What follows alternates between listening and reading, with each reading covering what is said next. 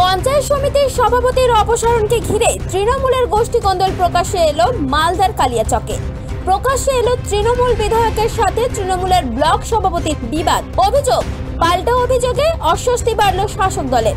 দুই নেতা নেত্রীকে সামনাসামনি বসিয়ে সমস্যার সমাধানের বার্তা জেলা তৃণমূল সভাপতি। মালদার কালিয়াচক তিন নম্বর পঞ্চায়েত সমিতি দু হাজার আঠারো সালের পঞ্চায়েত নির্বাচনে সমিতির বিয়াল্লিশটি আসনের মধ্যে তৃণমূল কংগ্রেস দখল করে সাতাশটি আসন। দশটি আসন পায় বিজেপি, দুটি আসন দখল করে কংগ্রেস, একটি আসন পায় বামেরা ও দুইজন নির্দল নির্বাচিত হন। স্বাভাবিকভাবেই বোর্ড গঠন করে তৃণমূল কংগ্রেস। পঞ্চায়েত সমিতির সভাপতি নির্বাচিত হন শাহানারা খাতুন। দলীয় সভাপতির বিরুদ্ধে সম্প্রতি অনাস্থা আনেন দলেরই সদস্যরা। সেই অনাস্থায় অপসারিত হন কালিয়াচক তিন নম্বর পঞ্চায়েত সমিতির সভাপতি। আর যা ঘিরেই প্রকাশ্যে তৃণমূলের গোষ্ঠীকন্দল। বিজেপি সদস্যদের সাথে নিয়ে দলের সভাপতির অপসারণ করিয়েছেন ব্লক সভাপতি দুর্গেশ সরকার। এমনটাই অভিযোগ বৈষ্ণবনগর তৃণমূল বিধায়ক চন্দনা সরকারের। তিনি বলেন, রাজ্য জুড়ে যখন বিজেপির বিরুদ্ধে লড়াই করছে, ঠিক তখনই তৃণমূল কংগ্রেস বিজেপিকে সাথে নিয়ে দলের পঞ্চায়েত সমিতির সভাপতির অপসারণ করা হচ্ছে। পঞ্চায়েত সমিতির সভাপতির অপসারণ করা হয়েছে। অপসারণ করিয়েছেন ব্লক সভাপতি। আমাদের মমতা ব্যানার্জি নির্দেশ দিয়েছেন যে বিজেপি যেহেতু আমরা রাজ্যে, আমরা বিজেপির সঙ্গে লড়াই করছি, আমার এই বিধানসভা বিজেপির সঙ্গে আমরা সব সময় লড়াই করছি। এবং কিছুদিন আগে আপনারা জানেন যে আমাদের জেলা নেতৃত্ব নতুন আমাদের জেলা কমিটি গঠিত হয়েছে, তাতে আমি জেলা কমিটিতে আছি। এবং সেখানে একটা মিটিং হয়েছে সমস্ত ব্লক প্রেসিডেন্টদের নিয়ে। যে কোনো জায়গায় আমরা বিজেপির সঙ্গে আপোষ করব না। এবং বিজেপির সঙ্গে সমঝোতা করে আমরা কোথাও যদি কেউ ভোট করে, সে গ্রাম পঞ্চায়েত হোক কিংবা পঞ্চায়েত সমিতি হোক, সেটা আমরা কোনো মতে মানব না। তবু আমরা দেখছি যে সেই নির্দেশ অমান্য করে আজকে কিছু অশুভ শক্তি বলেন বা যাই বলেন, এখানে টিএমসির কয়েকজন মেম্বার, আমাদের স্বয়ং ব্লক প্রেসিডেন্ট নিজে বিজেপির দশজন মেম্বারকে সাথে করে নিয়ে তিনি অনাস্থার জন্য আমাদের যে পঞ্চায়েত সমিতির সভাপতি ছিল তার অনাস্থার জন্য তারা আজকে ব্লকে হাজির হয়েছে তারা কি বিজেপি? আমরা অবশ্যই মাননীয় মুখ্যমন্ত্রীকে জানাব আমাদের যে জেলার যে নতুন সভাপতি হয়েছেন তাকে জানাব এবং ঊর্ধ্বতন কর্তৃপক্ষ আছে আমাদের যে আছেন রাজ্যের তাদেরকে আমরা জানাব। আপনারা মনে করছেন? আমাদের আমাদের সঙ্গে আমাদের প্রায় তেরোখানা মেম্বার আছেন আমাদের মানে সংখ্যাগরিষ্ঠতা আপনাদের রয়েছে? না সংখ্যাগরিষ্ঠতা বলতে শুনুন, আমরা তো আমরা তো টিএমসি যারা মেম্বার তারা তেরো জন আমাদের আছে এখন সঙ্গে, বাকিগুলো ওদের সঙ্গে আছে। যদিও বিধায়কের এই অভিযোগ মানতে চাননি কালিয়াচক তিন নম্বর ব্লক তৃণমূল সভাপতি দুর্গেশ সরকার।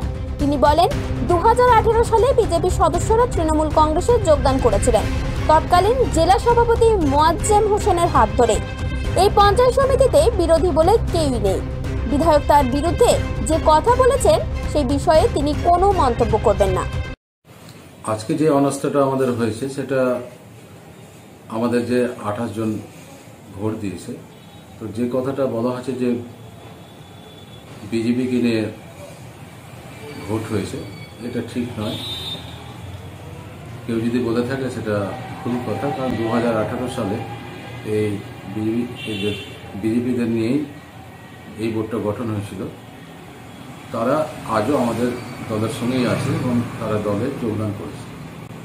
দু হাজার আঠারোতেই যোগদান করেছে? দু হাজার আঠারো বলছি তাহলে আপনার বিরুদ্ধে এই অভিযোগগুলো উঠছে কি বলবেন? যে অভিযোগ করবেন সেটা হয়তো উনি জানেন কিনা আমি জানি না। তাহলে আমাদের কাছে যেটুকু জানা আছে দু হাজার আঠারোতে যখন এই বিজেপিকে নিয়ে বিয়াল্লিশ জন মেম্বারের মধ্যে বিয়াল্লিশ জন মেম্বারকে নিয়ে আমাদের ভোটটা চলছিল সেই অবস্থাটা আজও আছে। তারা বিজেপি করতেন তাদের মেম্বার হওয়ার পর তারা কাজকর্ম যখন করতে পারতেন না, তখন আমাদের দলে দু হাজার আঠারো সালে তৎকালীন আমাদের জেলা প্রেসিডেন্ট ছিলেন ডক্টর মজ্জু হোসেন। সেই সময় আমরা জানি আমরা ওখানে ছিলাম, উপস্থিত। তখন তাদেরকে এই দলে নিয়ে বোর্ড গঠন করা হয়েছিল।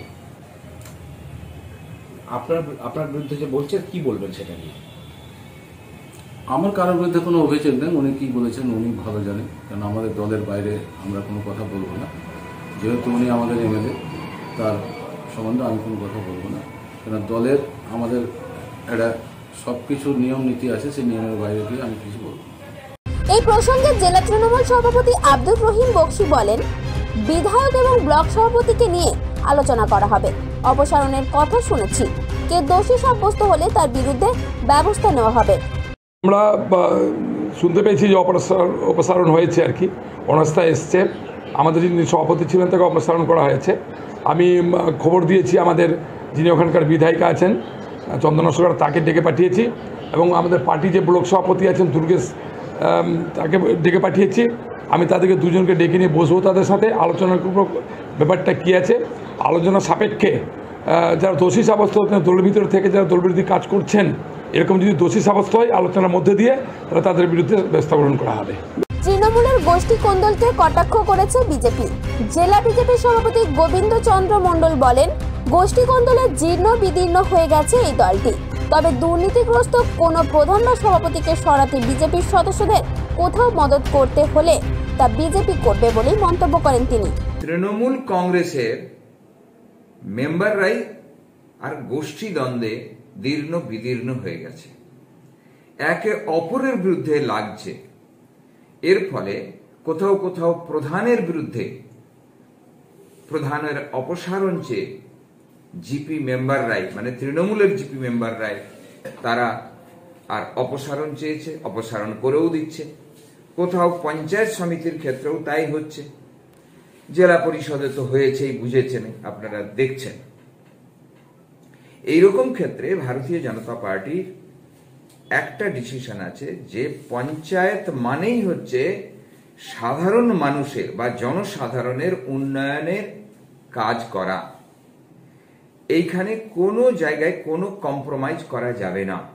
যদি কোনো দুর্নীতি পরায়ণ কোনো প্রধান কিংবা পঞ্চায়েত সমিতির সভাপতি থেকে থাকে, তো যদি অপসারণ করতে চায় তৃণমূলই হোক বা কংগ্রেসই হোক বা সিপিএম হোক, আমরা তাকেও বলেছি সাপোর্ট করো এবং ওই ধরনের দুর্নীতি পরায়ণ যে সমস্ত প্রধান আছে বা সভাপতি আছে, পঞ্চায়েত সমিতি, তাদেরকেও আর দরকার হলে তাকে ছুড়ে ফেলার জন্য তাকে সহায়তা করো।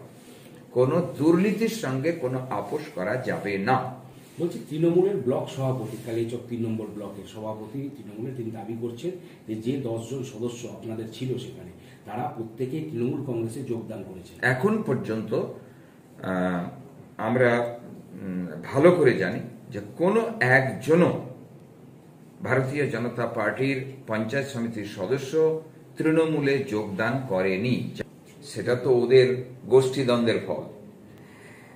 গোষ্ঠীদ্বন্দ্ব আর তৃণমূল কংগ্রেস, এই দুটো শব্দ সমার্থক। এর চাইতে মনে হয় বেশি না বলাই ভালো। মালদা থেকে নিজস্ব প্রতিনিধি রিপোর্ট, টিভি নিউজ টেন।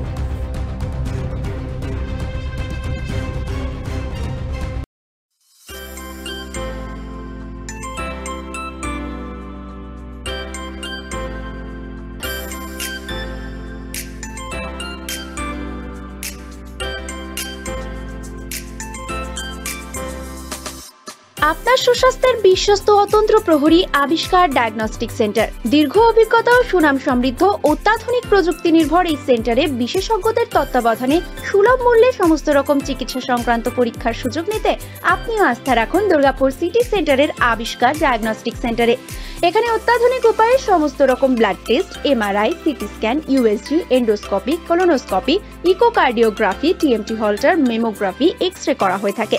এছাড়াও রয়েছে fully AC multi speciality OPD প্রয়োজনে আজই আসুন। আবিষ্কার ডায়াগনস্টিক্স বিশ্বস্ততার অপর নাম।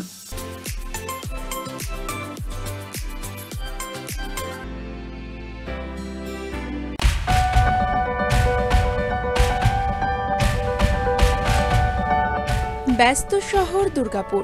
মানুষের ভিড়, কোলাহল, গাড়ির আওয়াজ, কারখানার ধোয়া সবেতেই ব্যস্ত শিল্পাঞ্চলবাসী।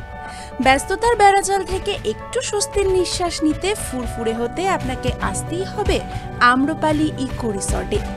প্রিয়জন, বন্ধুবান্ধব, আত্মীয়দের নিয়ে সময় কাটাতে আসাই যায় শহরতলিতে লাল সবুজে ঘেরা আম্রপালি শান্তি কুঠিরে মলান মলানদিঘির আকন্দরায় আপনার জন্যই গড়ে উঠেছে আম্রপালি ইকো রিসর্ট। এখানে থাকছে ডাবল বেডের এসি, নন এসি রুম, সাথে লাঞ্চ ও ডিনারের সুব্যবস্থা।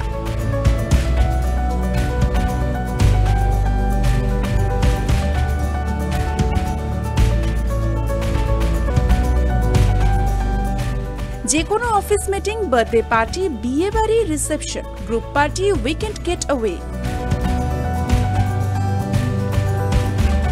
আমাদের ঠিকানা আম্রপালি ইকো রিসর্ট। মলানদেখি, দুর্গাপুর বারো।